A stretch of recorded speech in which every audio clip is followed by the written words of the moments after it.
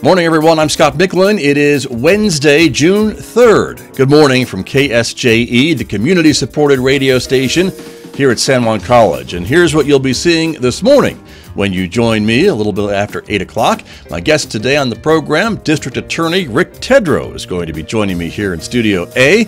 We'll be talking about uh, law enforcement, prosecution of crimes during this pandemic, and much, much more. That's all coming up this morning at 8:10 a.m. You can listen, of course, at 90.9 FM, 103.3 FM, or watch the visual radio program broadcasting live to the KSJE YouTube channel and to our Facebook page. DA Rick Tedrow coming up today at 8:10 a.m. At 8:50 a.m. this morning, we'll take a trip to the Encouragement Lab Dr. Mike Hattabaugh is going to be joining me from the lab today. His theme and message this week is to listen to the shy voices. He'll explain what that's all about coming up today at 8:50 a.m. on KSJE.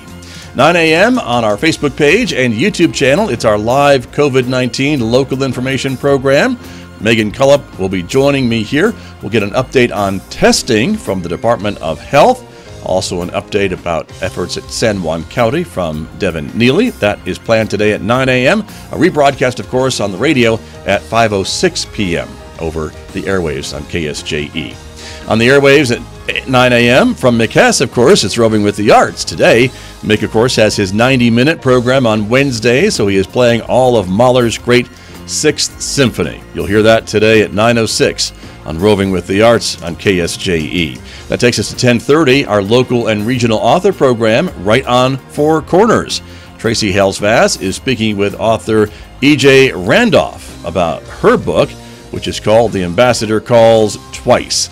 You'll hear that interview coming up today at 10:30 on KSJE. Don't forget, of course, we're also on Twitter and Instagram if you're a social media person. And our weather forecast partly sunny skies today with a high of 92 in Farmington, clear and 56 overnight.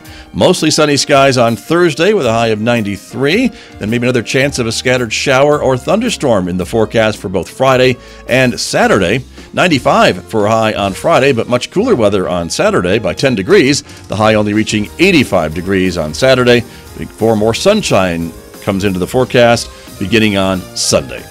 I'm Scott Michlin. Thanks so much for joining me this morning, everyone. Have a great Wednesday. I'll see you right here on the radio.